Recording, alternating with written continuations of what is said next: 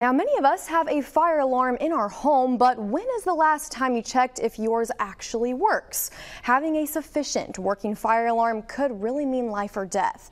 That's why Mobile Fire Rescue began the Smoke Alarm Blitz program, installing free fire alarms in Mobile neighborhoods. Now, the program began in 2018, and it's an event Mobile Fire Rescue holds a few times each year.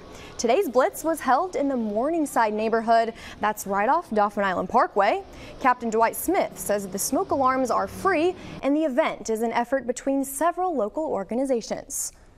We try to bring in uh, even uh, code enforcers to help us uh, do uh, canvass the area. And when I say canvass, that means we go from door to door uh, trying to install smoke alarms in everyone's, everybody's house. Smoke alarms cannot prevent the fire, but it can mitigate the loss of property, especially the loss of life.